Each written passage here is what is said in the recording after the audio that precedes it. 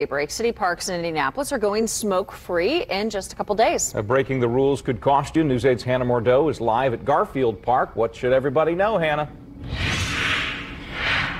Well, that smoking ban starts on Thursday, July 1st. It includes cigarettes and e-cigarettes, and soon there will be signs like this saying no smoking up around Indy Parks and on maps as well. Now, if you break the rules, you could pay a hefty price. We're talking about a $100 ticket for your first offense and a court ticket plus a fine of $200 to $7,500 for any following violations.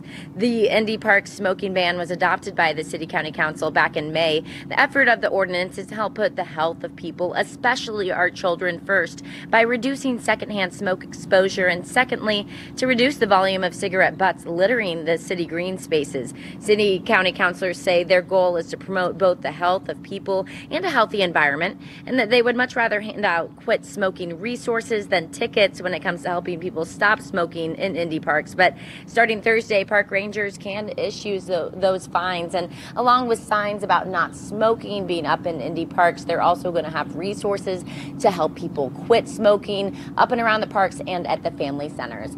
Live in Indianapolis, Hannah Mordeau, Wish TV, wishtv.com, and follow us on Facebook.